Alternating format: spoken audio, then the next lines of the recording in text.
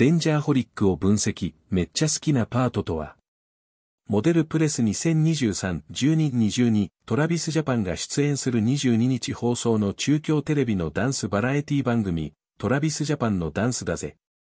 夜24時59分から、では、愛知、トヨタ大谷高校ダンス部と、スノーマンの楽曲、デンジャーホリックのオリジナルダンス創作にそれぞれ挑む。トラビスジャパン、スノーマン、デンジャーホリックでダンス創作今回の創作テーマは、楽しむに決定。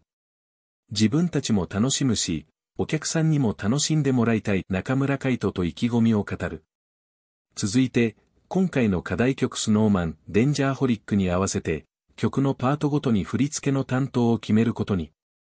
これまではペアを作って担当してきたトラビスジャパンだが、川島の L が、今回は、一人ずつ担当するのはどう？と提案すると、メンバーたちは早速賛成。曲を7つのパートに分け、それぞれの個性やセンスを活かしてダンスを作り上げていく。